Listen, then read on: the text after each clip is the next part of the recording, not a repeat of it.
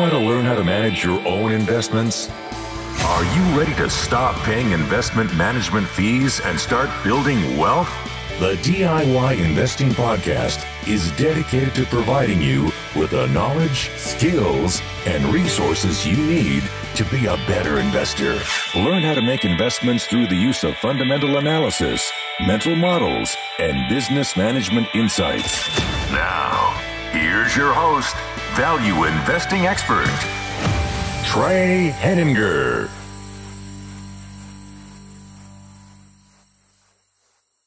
Hello and welcome to the DIY Investing Podcast. My name is Trey Henninger and I'm your host. This week I have a special guest on the show, Tobias Carlisle. Tobias is an author of four investing books The Acquirer's Multiple, Quantitative Value, Deep Value, and Concentrated Investing.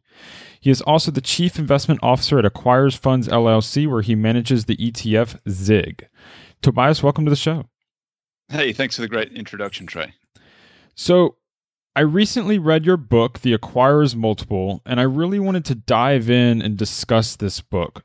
And so I was wondering if you could just begin with kind of a brief introduction of what you consider kind of the core concepts you were trying to communicate with the Acquirer's Multiple book.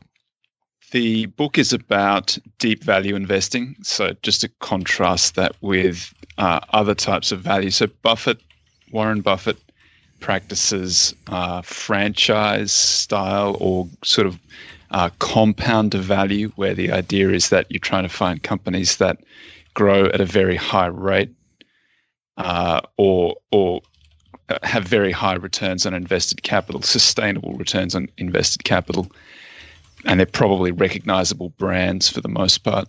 And he's trying to buy that at a at a discount to uh, what he calculates the, the intrinsic value to be. And he describes the, those companies as wonderful companies that he can buy at fair prices.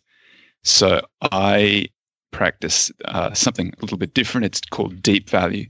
And the idea is that uh, you may not be getting a lot of growth from these businesses. They, they may be businesses that are going through a difficult period, they might be cyclical. And um, they're available, though, at very discounted prices. So to contrast Buffett's wonderful companies at fair prices. They're fair companies available at wonderful prices. Anybody who's read any Buffett will know that he prefers wonderful companies at fair prices to fair companies at wonderful prices. So why do I practice this deep value style? Um, there's a great book, The Little Book That Beats the Market, written by Joel Greenblatt, where he takes this simple quantitative version of Buffett's strategy. So he says a wonderful company is a company that has a very high return on invested capital. And a fair price is a low price by enterprise value to EBIT.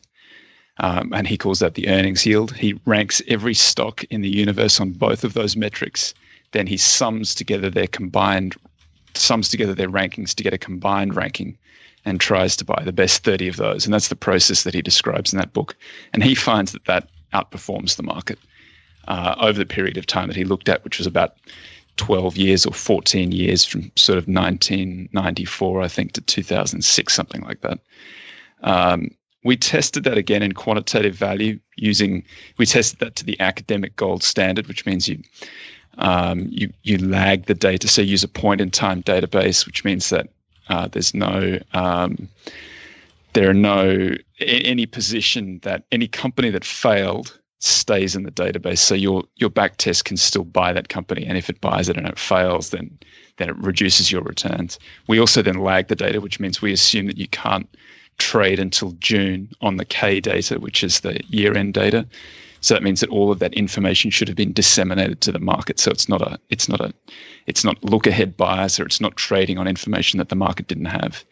And then we market capitalization weight the companies, which doesn't make a lot of sense. It's not the way you would construct a portfolio, but we do it that way because that's how market indices are constructed to make it comparable to an index.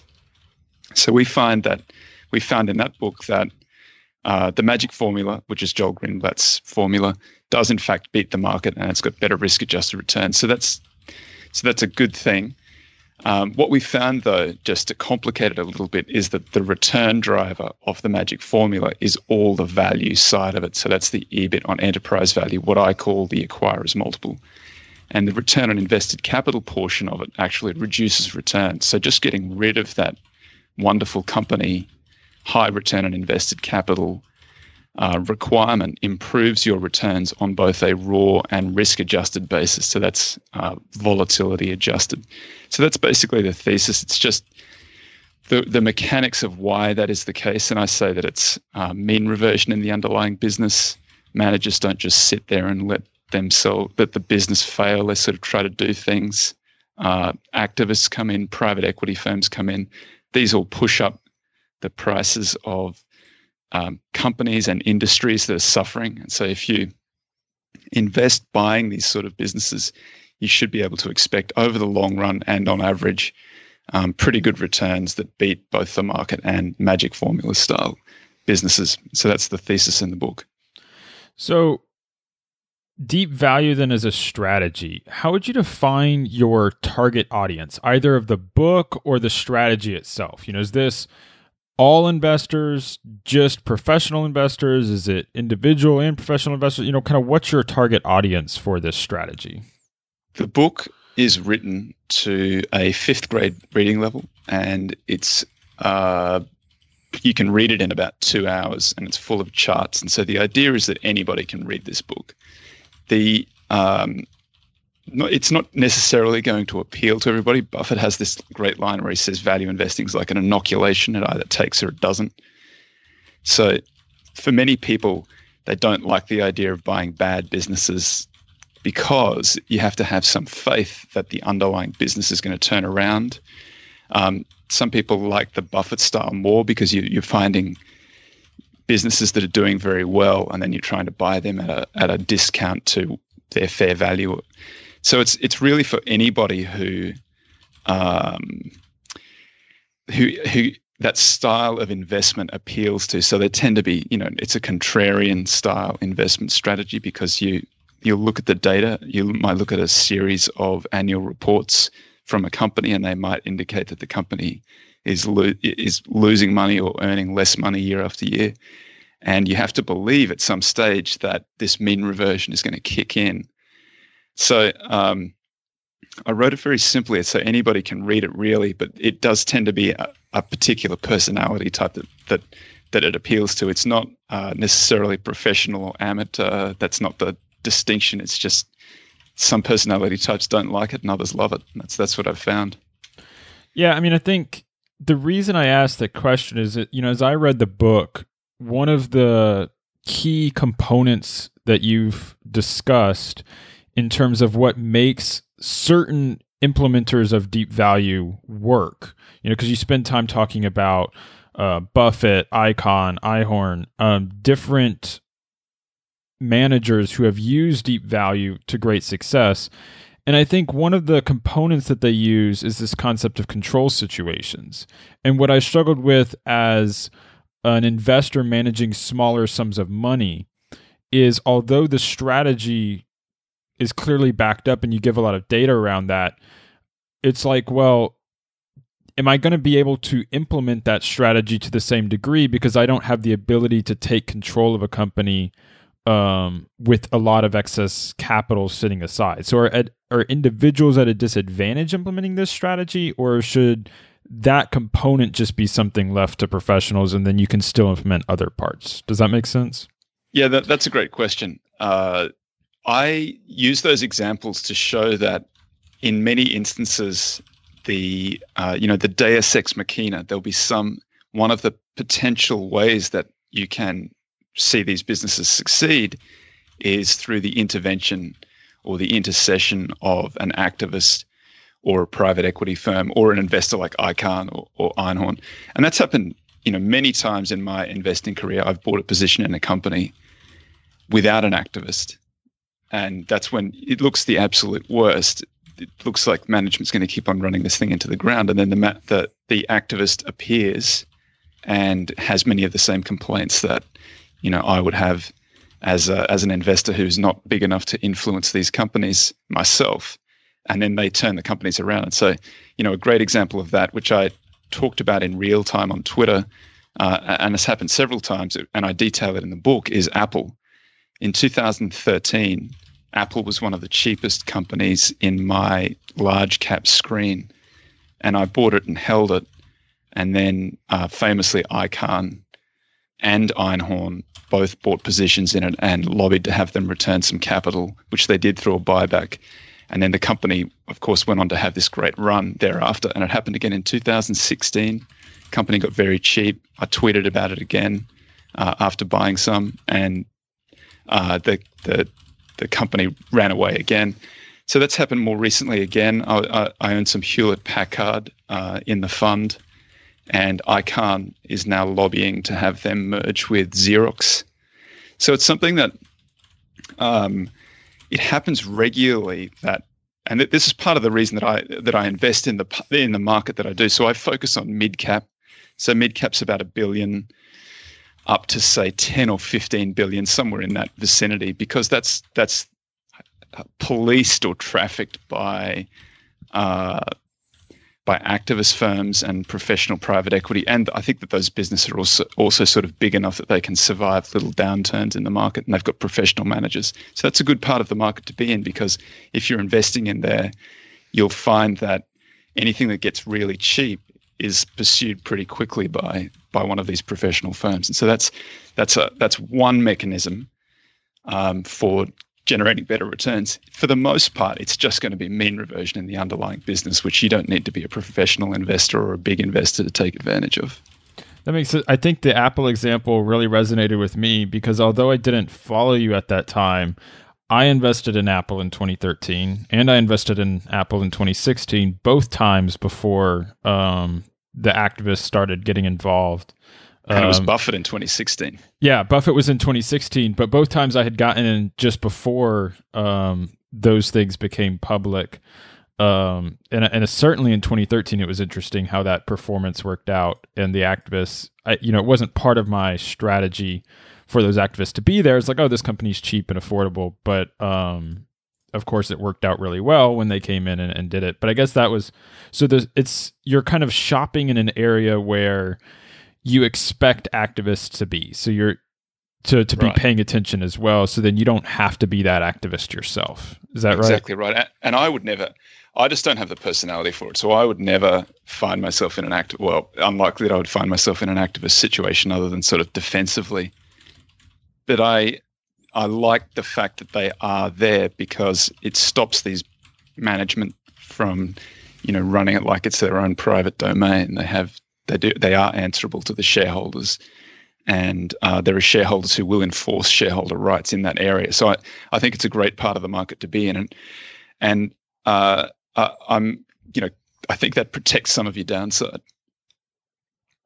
Yeah, so I mean, it certainly protects your downsides when the activists get involved, but do you still have protection against potential you know the potential for a sale of the stock at a low price? So if you're hitting like a 2008 2009 the market's crashed and you're buying in could you get trapped with you know someone tries to come buy the whole company at a price that's well below what you think that value is then uh, because you don't have the resources to file a 13d and be a 5% shareholder or is that just part of you know what diversification's for or something yeah so you know that of course that's going that that could potentially happen at any point in the market. It doesn't have to be a 2007, 8, 9 type scenario. But you know the the thing that I would point to is that I have pretty extensive back tests in there that show how this strategy would have performed over very long periods of time. And it has been one of the better performed strategies out there.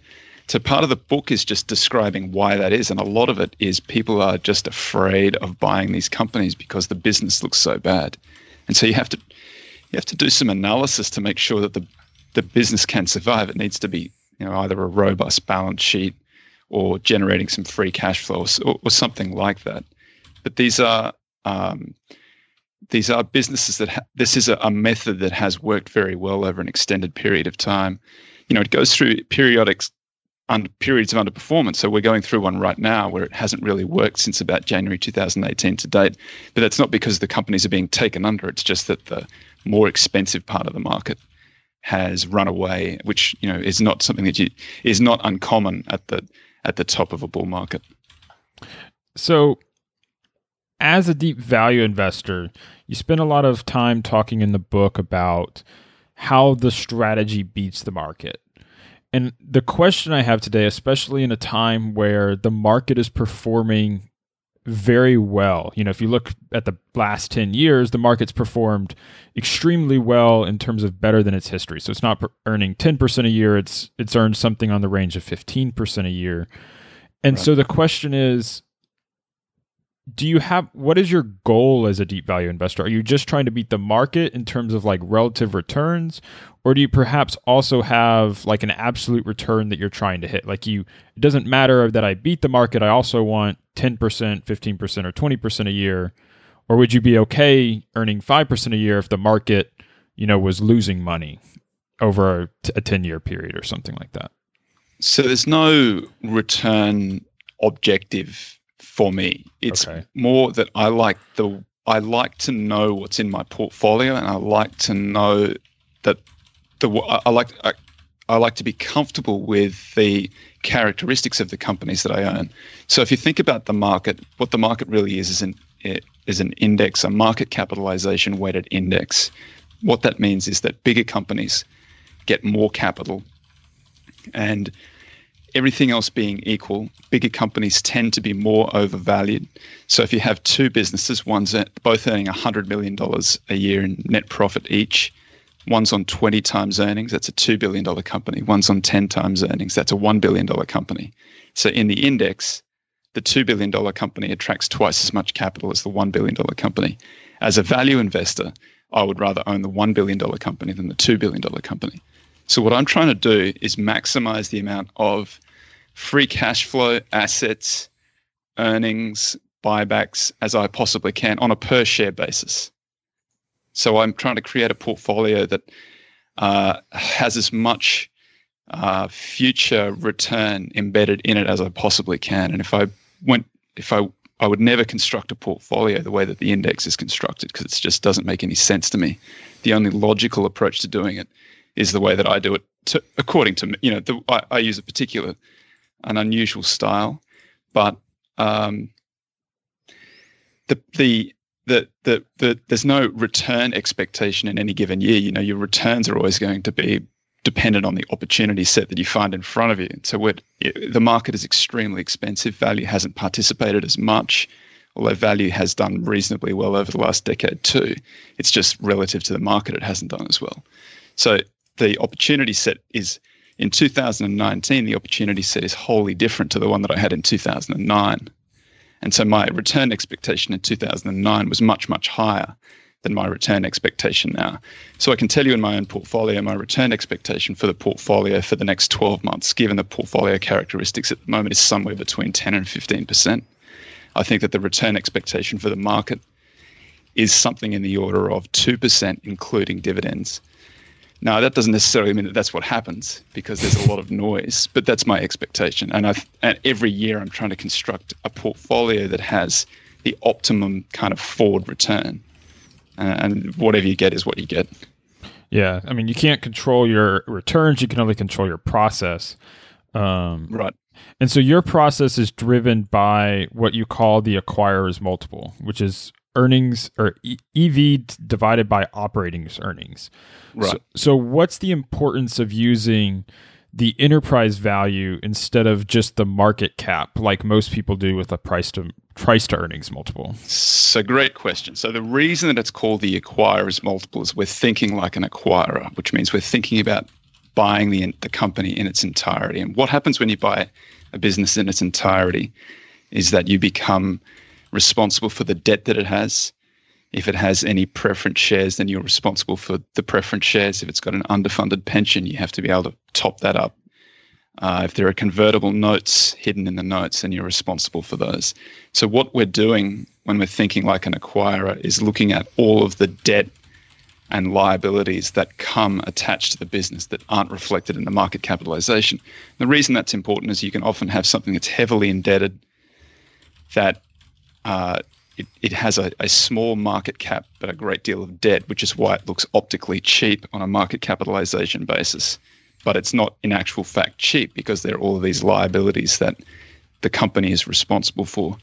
So it's just a It's just a um, it's a holistic approach to looking at the purchase price. So I, I use that I use that terminology a lot on my page. I, I often think in holistic terms. I want to look at everything that it owes, everything that it owns, and then I want to look at the cash flow statements, make sure it's generating lots of free cash flow, make sure the earnings match the cash flow, make sure that the balance sheet is healthy and we're not overpaying because we're missing some liability that we should be taking into account. So, do you have a, a target acquirer's multiple? Like, I only like to buy, you know, companies below a acquirers multiple of 10 or 5 or 7 i mean is there a certain threshold you're seeking or is it just always by the lowest uh, kind of what are you looking for in terms of an acquirers multiple yeah so you want to buy the lowest that you possibly can. But in terms of a rough rule of thumb, I think 10 times is, is a reasonable rule of thumb to be buying. And then, you know, you want to sell potentially somewhere between 15 and 20 times. But I like to buy below 10. So, one aspect that you talk about then in terms of, you know, you say like 10 times acquires most, so that'd be the enterprise value is 10 times the operating earnings. Is that right? The other way around. The or, yes, sorry, sorry, yeah, sorry, yeah. No, no, you're, you're right. No, sorry, you're right. The, you can think about it on a yield basis too. So you're you're you're paying the enterprise value, that's your cost, and you're getting back in return the operating earnings. So you want an operating earnings yield of roughly 10% or better. Okay. So you talk about um, in your book negative enterprise value companies, which right. would seem to be the the key definition of the cheapest you can get. So, right. so do you spend? I mean, these are also what what what Ben Graham would have called net nets, right? They're not quite net nets, but yes, they it shares the same. It's the same. Um, it's the same philosophy. You sort of you're really relying on mean reversion in the business mean reversion in the stock price relative to the underlying value. You're not relying on performance in the business. It's not a compounder. It's not growing. You, you're really trying to get something for free. Yeah. So would you fill your port? Would you be comfortable filling your portfolio then with only negative EV companies? I mean, because they would absolutely. if I could find them, I'd yeah. fill it up. If you look at the the long term returns to negative enterprise value are spectacular. So is the struggle then simply that there aren't any of them or many of them in that billion dollar to 10 billion dollar range or 15 billion whatever you had they're had very said. hard to find that's that's exactly right because what you think about what it that what it means to have a negative enterprise value the only way you get a negative enterprise value is if you have more cash than all of the other liabilities and the market capitalization so that would be a business that has a billion dollars in cash a market capitalization of 500 million and no debt that has a negative enterprise value of 500 million dollars. They just don't exist because they're uh, it's free money, and there are people trying to pick those things up all the time. The real the the time the only time that you find them really is in a big market dislocation like a 2007 2009 event.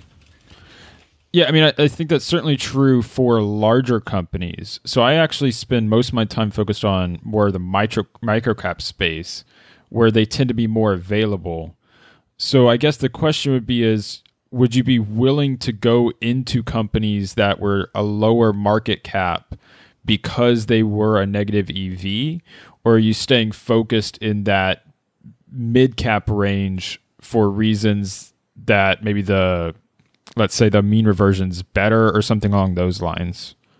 Yeah, so the the, the ETF has uh, liquidity, you know, restrictions oh, okay. because yeah. it's so that, that's the reason that the ETF can't go down below that level. But you know, in my PA and in in uh, in other times, I've I've hunted for negative enterprise value companies alongside hunting for net nets and uh, th- those sort of opportunities because you know that to my mind that is the that is the real um, that that that process by which those companies tend to outperform the market is the it really describes the mechanics of of value investing because what you're looking for is a big discount to a you know largely static value so they're easy to calculate and the only way that they sort of perform is by other investors paying more than you did for that position. Sometimes you get some mean reversion in the underlying business. Sometimes they recover, but for the most part, all you're doing is buying at a discount to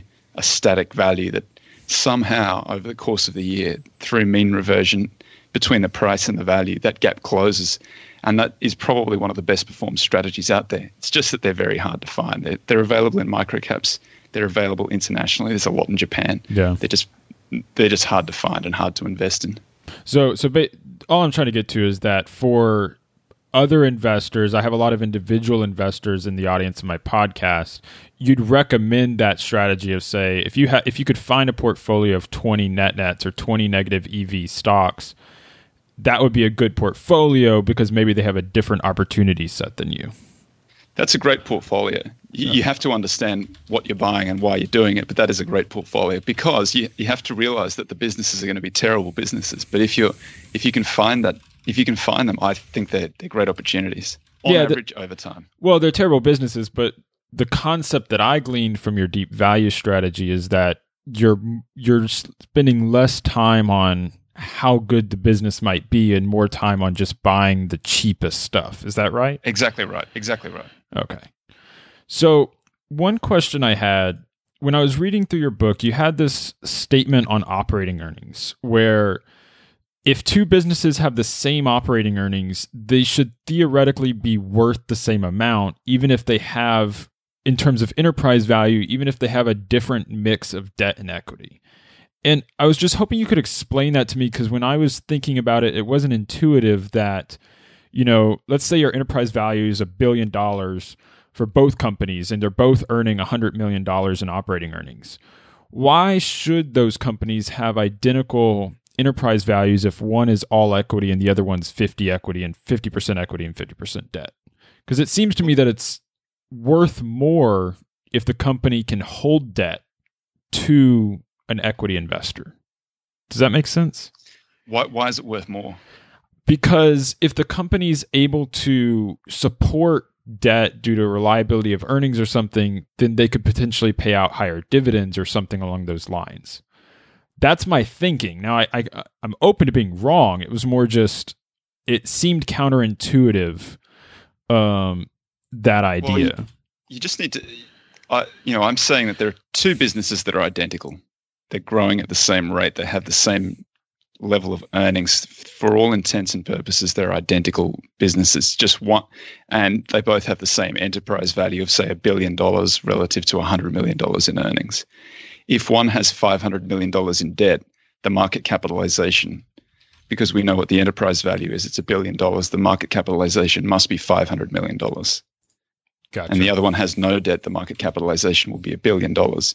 You shouldn't assume that the one that is a billion dollars in market cap is twice as valuable or is twice the price of the one that is 500 million. They're identical prices because they have one has a one has debt, you know, which is just that's a decision that management makes. So you could you could take that company private, you could make it 900 million dollars in debt, 100 million dollars in equity.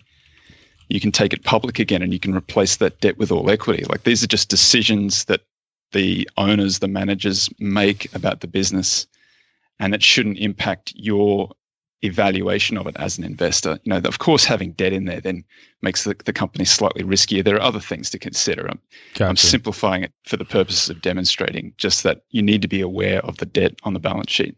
Oh, okay. No, that that makes sense to me. So I guess it's the idea that because the CEO or the CFO has decided this is the balance, it's also something they could change their mind on tomorrow. So you need to judge the business in terms of what the EV you want to pay.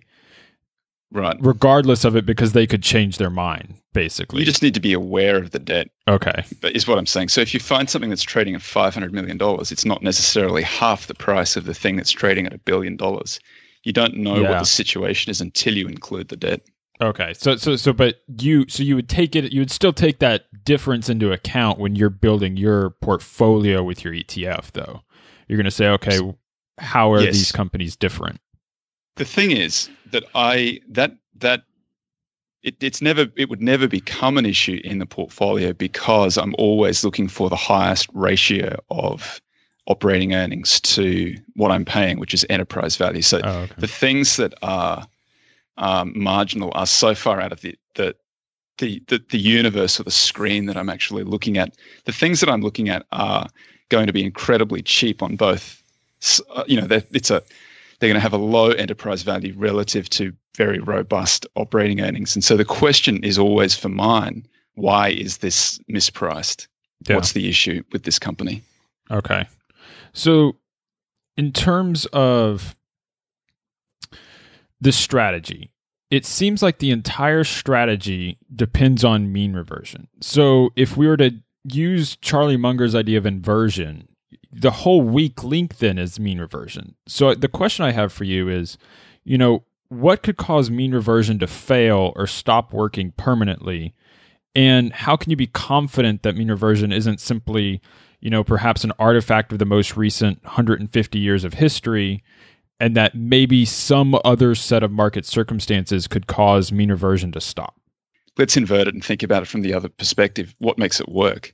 So that was a question that was posed to Graham when he was uh, appearing before a, a subcommittee following the 1929 bust, and they said, "How do you once you get one of these positions, how do how does it come about that the market recognizes that it's undervalued?" Graham said at that time it's one of the great mysteries of the business. So he was being a little bit coy because the real uh, answer is it's microeconomics. When something gets undervalued, so you identified Apple as being undervalued in 2013. I, underst- I identified it as being undervalued. We both bought it. And that mechanism, fundamental investors, value investors, buying something that's undervalued, creates the flaw in these things. And as more and more people buy the company, and then the next person pays a marginally higher price than the last person, that is how mean reversion comes about. So for mean reversion to go away, it would mean that fundamental value investors, fundamental investors and value investors were no longer doing what they were doing. So I think that mean reversion is going to persist. It's sort of, it, I think it's almost like an iron law of nature. And I don't know what circumstances would arise for it to go away. It would have to be the stock exchange shutting down or uh, you know, full-blown communism or something like that. I think that uh, mean reversion is one of the things that you really can rely on. So, in terms of you, you mentioned the stock market shutting down. So, this is definitely an area where your strategy would differ significantly from Warren Buffett's current strategy, not his old strategy of being a deep value investor, where he says you should buy stocks that if the market shut down for 10 years, you'd be happy to own them. That is not the strategy we're implementing here. No, I'd, I'd be I'd be happy to buy these companies and hold them for ten years. It's just that you know if you do a back test on the Russian stock market prior to uh, the communists coming to power, the back test doesn't look really good because there's a point where everything goes to zero. That's true of any country where there's been a complete Oh, okay. revolution. The back tests aren't going to look great. You know, we have the US has a great long-term track record because the US stock market has existed. You know, the first part of that is that the US stock market has existed continuously through that entire period. I'm more than happy for, you know, you think about what, what you're buying. I'm buying, I'm buying an oil company right now that I think is incredibly undervalued. You know, do I care whether the stock market's open so I can trade it? No, I, I'm I'm relying on mean reversion in the underlying business and in the discount to the cash flow, uh, the discount to the intrinsic value closing. But you would agree that your returns could be higher if that mean reversion occurred quicker. Sure. right so i mean that i mean that would be the benefit of having the market open and having rel you know that market constantly available is maybe it mean reverts in a year versus 5 years or 10 years which is what tends to happen. The, the you know, I would I, I I'm not relying on mean reversion to generate the returns. I'm I'm, I'm sorry, I'm not re- relying on mean reversion in the stock price to generate returns. I'm relying on mean reversion in the underlying business to generate returns. But in most instances, there's mean reversion in the stock price as well, and that occurs faster than the mean reversion in the business. Because as soon as the business turns around, the stock price sprints ahead. so like it, you're so to capture that what you just said you're saying okay if the business turns around so instead of dropping earnings 30% earnings rose 10% this year Right. So you're going to capture that 10% growth from the earnings rise, but you might also capture an additional 40% from the stock price rising. Right. Okay. Not in those exact figures. No, I mean I'm just I'm just trying to I'm getting, but yes, that's the idea. just to just to get a sense of it. Um And I draw in the in the the acquirer's multiple in the book. There are these charts at the front um, that are uh, you know just representative of what I think occurs in the business. So I try to show that there's a cycle in the business, but then the cycle in the stock price far overshoots the cycle in the business. So there's you know, we, we it wasn't that long ago that oil and gas companies were very, very popular and they were trading at prices that suggested that they weren't cyclicals and that they were going to continue to grow at the rate that they had. Anybody who's been an investor for a, one cycle knows that oil and gas price or oil and gas companies are cyclical, and you don't want to be paying a peak price on a peak a peak multiple on peak earnings for an oil and gas company. And now we're in the reverse situation where they're they're trough earnings and a trough multiple. So I think oil and gas is pretty cheap right now. But I know that um, the earnings will get better a little bit in the future. The stock price will go up probably more than is warranted, at which point I'm a vendor. Yeah. So when we think about how this strategy is working and the idea that this strategy beats the market over time or it beats, let's say, um, investing in wonderful companies at fair prices. So let's talk, let's compare deep value to Buffett's strategy here for a second. And what I've thought about is what I'm going to call the backtest problem. And Sure. and what this would be is is that the back press back test makes some assumptions which can affect one strategy differently than the other. So in terms of your assumptions when I you know reading the appendix says that you're rebalancing monthly um of this 30 stock portfolio that's equally weighted. But when you think about how like a practitioner of Buffett's strategy actually invests, it tends to be a lot more concentrated with very little rebalancing. So, do you think that that could have impacted the um, nature of that results of that it might beat that strategy because it doesn't necessarily beat, let's say, the returns that Buffett actually received? Now, he's considered the best investor in the world by some, so it's maybe not a fair comparison, but I wanted to pose the question. Yeah, so we tested in quantitative value. We used a different rebalancing methodology where we we rebalanced on an annual basis, Okay. and that r- yielded the same results. It's not so much a question of how often it's rebalanced. I think that the um, the question that I often get from Buffett style guys is, well, what if we take the rebalancing out to five years? Does that then improve the returns? And it doesn't. The, I, I, back tests are imperfect, and they're um, you know they could be improved in any number of ways. Every time I run one, I get every time I write a book, I get literally hundreds of folks suggesting some variation. Sure. You know, we t- we test all of those variations in the preparation for the book because we're trying to find a representative way of showing what what we've discovered. It doesn't really change much. If you run a back test, assuming five years of rebalancing, and then you can do that on a rolling basis, you know, so rebalancing, you know, so that's 60 opportunities to rebalance if you're rebalancing on a monthly basis. So you rebalance 160th of the portfolio, and then you hold that 160th for five years and you don't rebalance until the end. You still get the bulk of the return coming in the first 12 months because that's the point where the undervaluation is the most stretched. And the bigger the undervaluation, the better the returns, everything else being equal. Okay, so it's less about those individual assumptions and more just you're really having the turn return then driven by that mean reversion. It's what you talk about, but it's you know if it's occurring quickly, then it's becoming it's the mean reversion of the business and the price that's giving you that return and less let's say a compounded return. Yeah, so the, the compounded return. So uh, for for long term investors who hold businesses over extended periods of time, and I forget the exact proportions, but you know over two, five, ten years, your long term return becomes your return, the the sustained return on invested capital over the period that you hold it. So as, for a long term investor who's looking to hold for extremely long periods of time, they should focus on sustainable return on invested capital because the higher that number is, the better their returns will be. The problem is that there are very few companies that can sustain high returns on invested capital. Most companies, 96% of companies, will mean revert over that decade to basically the mean. So the challenge and what Buffett's great genius has been has been to identify these companies that do have these moats that have a competitive advantage that resist mean reversion. It's about 4% of companies. Michael Mauboussin has done, I think, the best work in identifying them. And even Mauboussin will say they're, they're hard to identify um, prospectively. They're easy to identify after the fact, but you don't get paid for identifying them after the fact. You only get paid for identifying them beforehand. Sure.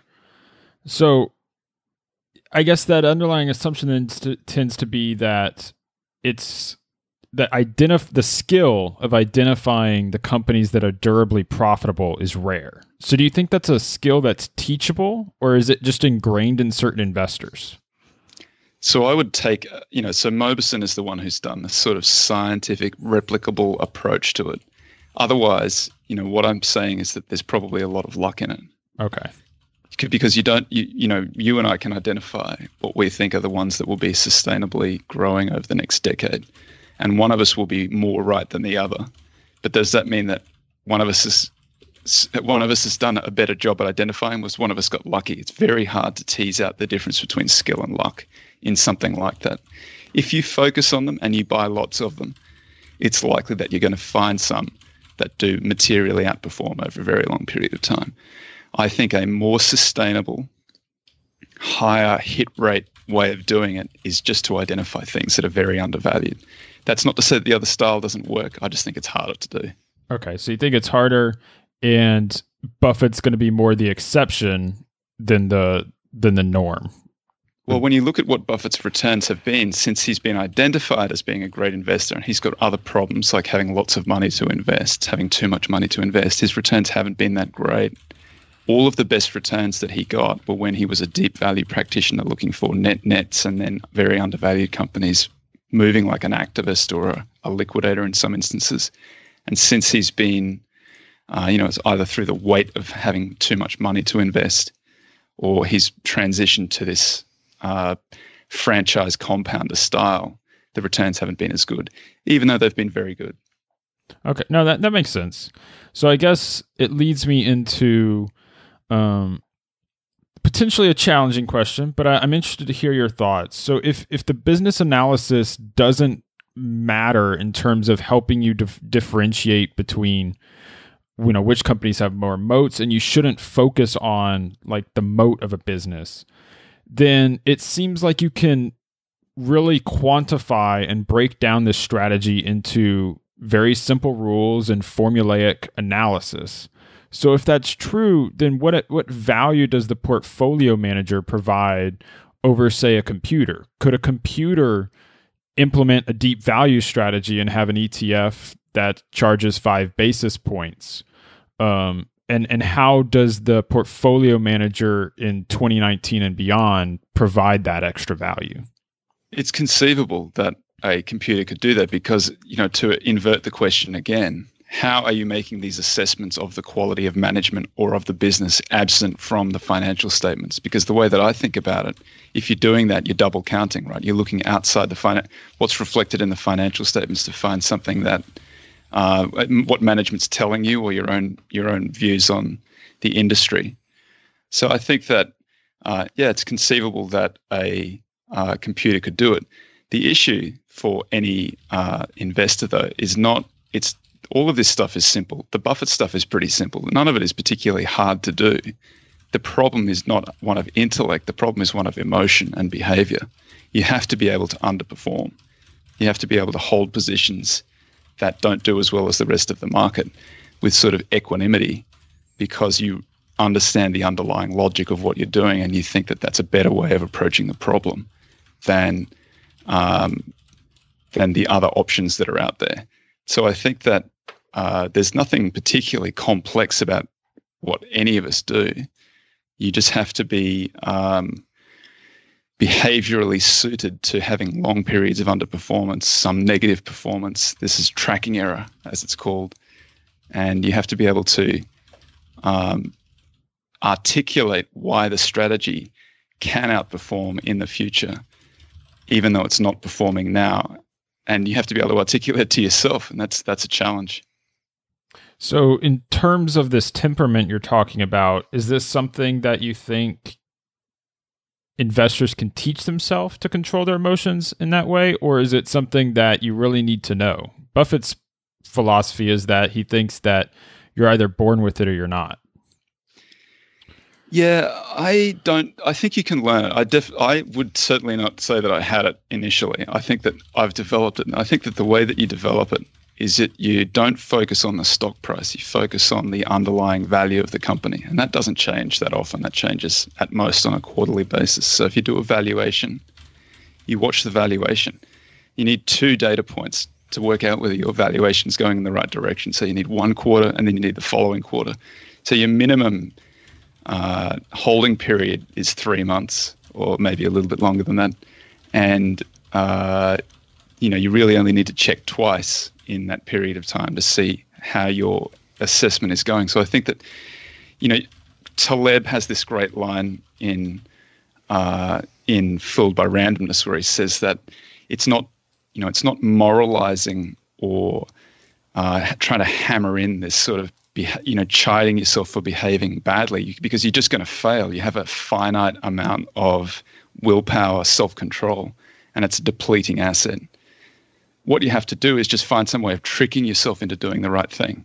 So that's what I do. I just trick myself into doing the right thing. I focus on the underlying value and I rebalance the portfolio on a quarterly basis and I have rules around how I do that. So there's no, it's not temperament on my behalf because temperament can fail. You know, human beings are fallible, but the process is so fixed and ingrained and public that there's just no way that I can do anything but follow the process. So then as a professional investor, is the hardest part managing your emotions or the emotions of your investors?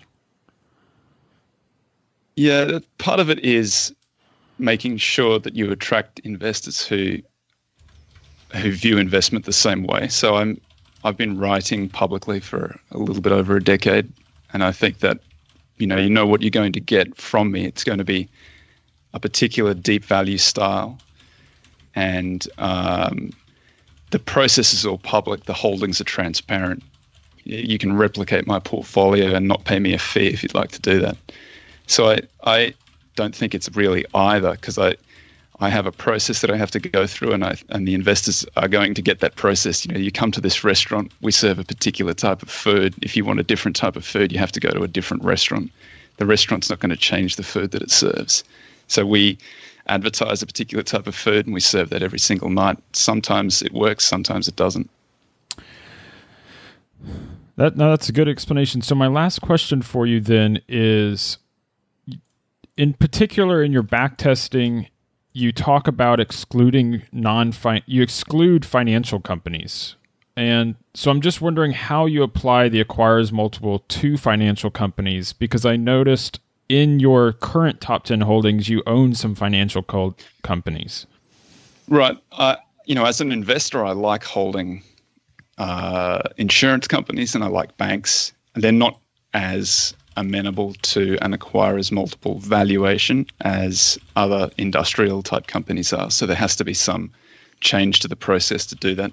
You know, the traditional way of valuing insurance companies and banks has been a book value valuation. So that's what we do, and then we have to make it um, an apples to apples comp, uh, comparison to the acquirer's multiple. So that's some of the work that we have done to get that uh, to get that to, to to marry up. Um, that's not something I've sort of discussed publicly a great deal because I think it's some of the it's a little bit of the magic that we're trying to put into yeah. the portfolio, but that's that's something that we do. And the traditional way of valuing those things is book value, but I think that you can you can have a a marriage between both of them that r- results in that, that generates pretty good results.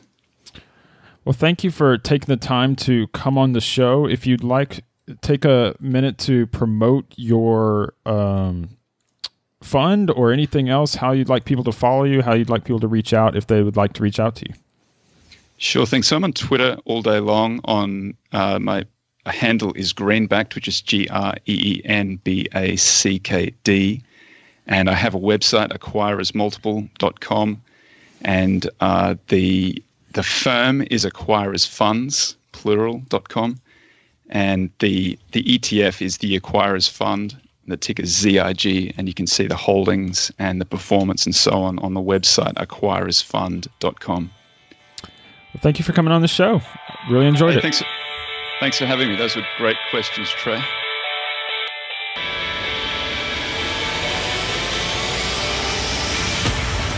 Thank you for listening to the DIY Investing Podcast. Please visit our website and subscribe to our email list at DIYinvesting.org for guides, videos, and resources to help make you a better investor.